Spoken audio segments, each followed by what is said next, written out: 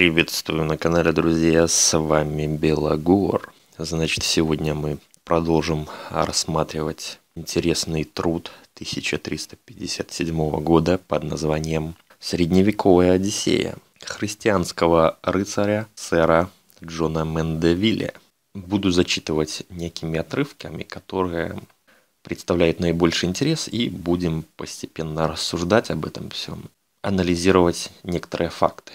А рядом с этим островом, о котором я говорил, есть другой остров, который называется Сумабор или Суматра. Это отметка автора, возможно, Суматра. Это очень большой остров, и его король очень могущественный.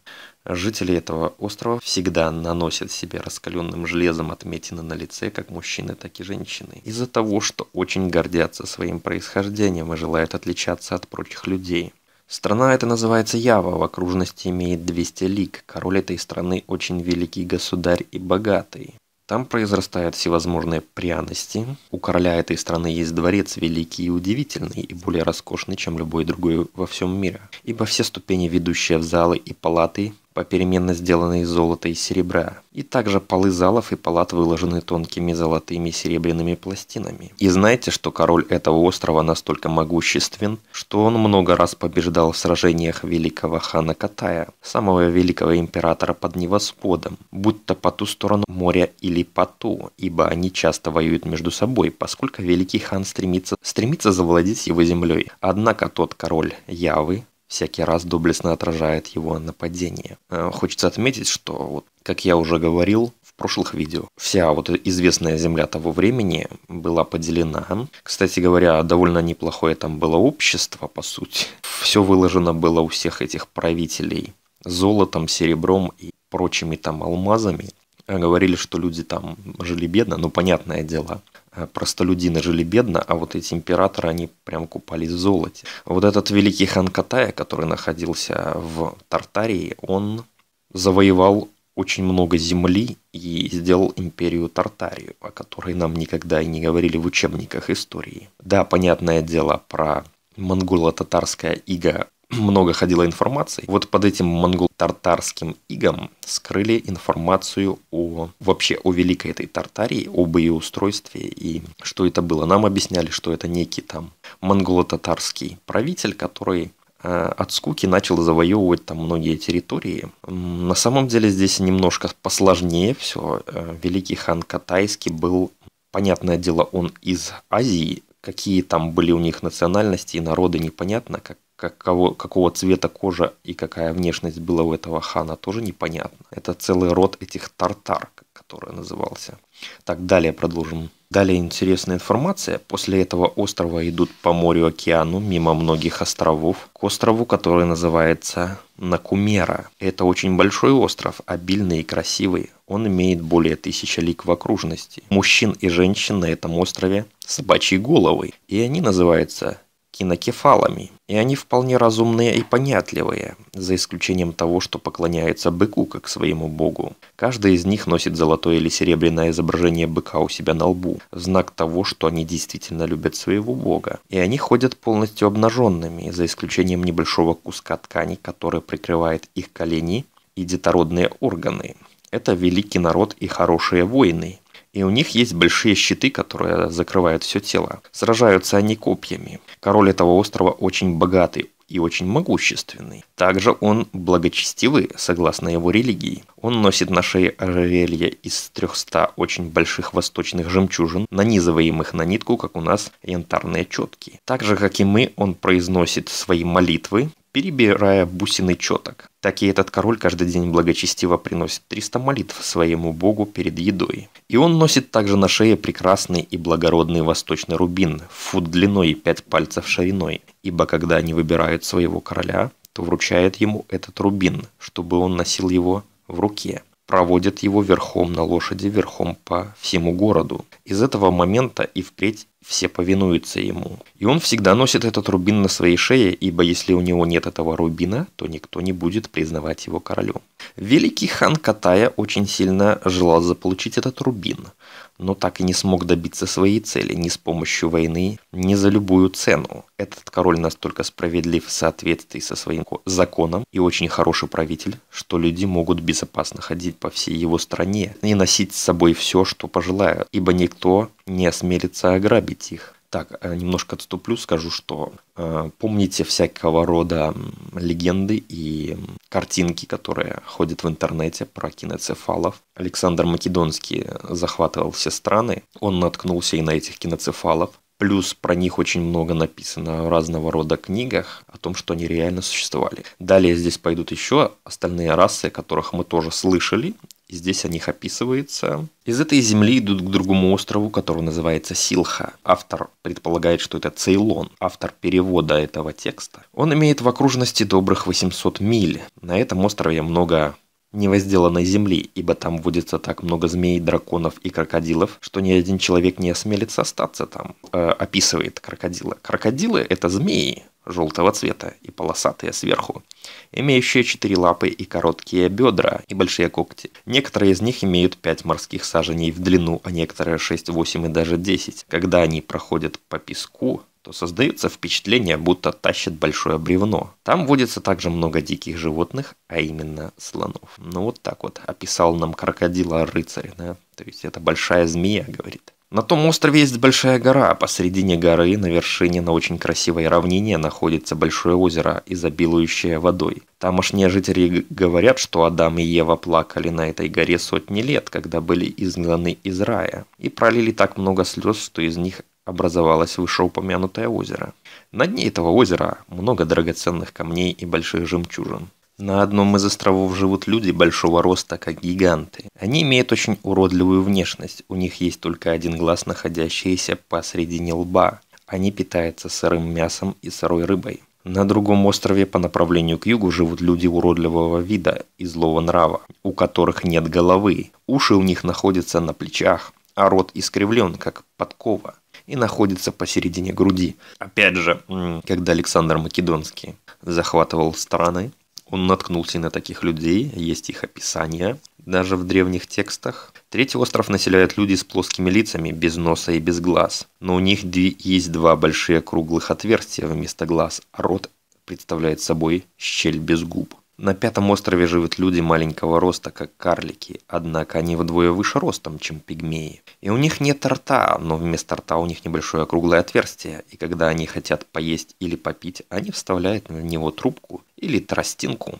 И так питаются. Они не имеют языка и не умеют говорить, а только свистят, как гадюки. Они обращаются друг с другом с помощью знаков. В шестом острове живут люди с большими длинными ушами, свисающими до самых колен. На седьмом острове живут люди с лошадиными ногами. Они сильные и крепкие, очень быстро бегают, ибо ловят на бегу диких зверей. На восьмом острове есть люди, которые ходят на четвереньках, как звери. На девятом острове есть люди, которые являются одновременно мужчинами и женщинами. Много других разнообразных людей непохожего вида живет на других островах, о которых было бы слишком долго рассказывать, поэтому я их опускаю. Идя от этих островов морем океаном на восток, после многих дней пути приходишь к большой стране и великому королевству, которое называется Манзи. Оно находится в Большой Индии. Это самая лучшая и самая прекрасная земля во всем мире, самая восхитительная и изобилующая всем, чего только может пожелать человек. Там живет много христиан и сарацин, ибо это хорошая большая страна, а в ней находится более двух тысяч больших богатых городов. Из-за плодородия страны там проживает больше людей, чем в другой части Индии. В этой стране нет ни одного нуждающегося человека, ни одного, кто просил бы милостыню. Его жители очень красивый народ, но все они бледные. Мужчины носят редкие оборотки и много волос но длинных. Но вряд ли найдется здесь хоть один человек, у которого борода была бы хоть на 50 волос. Но просто один волосок торчит там, а другой здесь, как в бороде леопарда или кошки. В этой земле женщины более красивые, чем в любой другой стране за морем. И поэтому некоторые называют эту страну Албанией, так как этот народ имеет белую кожу. Э, некая большая и малая Индия здесь описываются. По историческим данным, как бы в самом деле, большая Индия это как бы... Я не, не точно знаю историю, но она распространялась далее на за Индийский полуостров, как бы Большая Индия называлась. Потому что у меня множество раз возникает такое ощущение, что тут некоторые земли, прямо описываемые, которые, возможно, могут лежать в антарктическом круге, который описывался в карте Урбаны Монте. Там тоже множество континентов, которые э, лежат по кругу от наших континентов. Возможно, описание даже этих континентов есть. Здесь очень трудно ориентироваться, потому что большинство городов названы по-другому. Э, те, кто знает хорошо историю, могут э, в комментариях, если они видят что-то знакомое, могут описать, что, что за страны это были. Главный город этой страны называется Лакорния. Он находится на одном дне пути от моря и по размерам превосходит Париж. В этой стране есть белые куры без перьев, но с белой шерстью, как у овец. В этой стране замужние женщины носят на голове знак в виде ноги, чтобы отличаться от незамужних. То есть тут такой есть момент и в Великой Тартарии, и в этой стране, и вообще, я так понял, по, во множестве стран э, того времени женщины замужние носят на голове отличительный такой знак, что они как бы замужем. Это отпечаток, такая стопа. Здесь объясняется, что якобы женщина находится там э, во власти мужчины, как бы, то есть таким образом показывается, что вот, то есть, ну, такие нравы были в то время. В современное время уже немножко попроще в этом плане. А, также в этой стране есть животные, выдрессированные людьми нырять в воду и реки в глубокие пруды, чтобы ловить рыбу и жемчуг. Люди-звери невелики по размеру и называются лоурес. И когда люди бросают их в воду, они ловят большой, больших рыб и приносят их людям. А дело в том, что до недавнего времени я бы не заметил этот момент, но дело в том, что у меня был разбор книги, которая была найдена в Смитсоновском институте о охоте на древних животных. Там есть и драконы, и единороги, и огромные какие-то змеи. Там же на одной из картинок было нарисовано, что люди приручили неких животных таких, которые ныряют им за рыбой постоянно. Вот это вот, видимо, это и есть. Во многих днях пути от этого города другой город, один из величайших в мире, который называется Касай, то есть небесный город. Интересно, что это за город, явное отличие от того города Катая, в котором восседает великий хан, но это где-то, я так понимаю, не в Азии этот город находится, потому что здесь есть описание. Он имеет добрых 50 лиг в окружности и густо населен, в такой степени, что один дом состоит из добрых 10 домов. В этом городе есть 12 главных ворот, и перед каждыми воротами большой пригород, занимающий 3 или 4 лиги в длину.